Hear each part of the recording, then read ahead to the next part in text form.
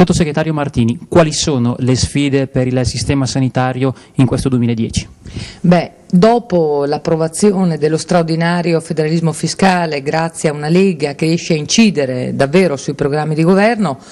Oggi l'attuazione del federalismo fiscale e quindi l'emanazione dei decreti attuativi sarà quello che ci permetterà di parlare ancora di un servizio sanitario nazionale in quanto tale.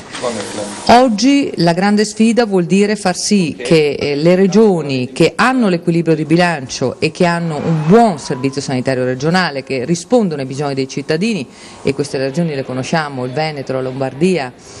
eh, il Piemonte, ecco, tutte quelle regioni dove oggi la Lega è impegnata, peraltro in una tornata importantissima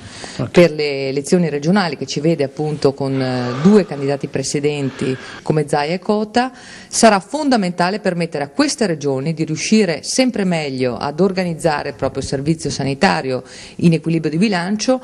e eh, andare avanti con quei piani di rientro e l'attuazione dei costi standard che sono quelli che fanno sì che dal Lazio in giù in realtà la sanità abbia buchi da tutte le parti. Penso alla Calabria con i suoi 2 miliardi di euro di buco e più di 200 milioni strutturali annui, penso al Lazio, penso alla Campania. Ecco. Ovviamente oggi la grande sfida è riuscire a eh, regolare la spesa sanitaria per queste regioni offrendo ai cittadini davvero un servizio sanitario che possa chiamare chiamarsi tale. Continua anche la sua lotta per la tutela degli animali? Sì, eh, attraverso la medicina veterinaria, eh, in assoluto siamo in prima linea contro il maltrattamento e quei canili lager che peraltro sono proprio in quelle regioni dove anche la sanità è diciamo, molto, molto, molto problematica, ma ricordo alcuni aspetti importantissimi come i rapporti con le regioni, ricordo la riabilitazione, che è un tema fondamentale perché oggi se parliamo di un'altra sfida importante del servizio sanitario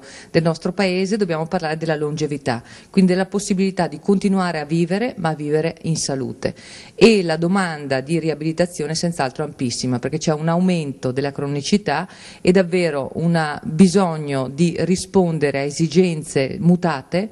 che guardano all'assistenza territoriale, quindi assistenza sanitaria di base, incremento della medicina territoriale e riequilibrio della spesa tra ospedale e territorio che sono e diventeranno sempre di più un'emergenza.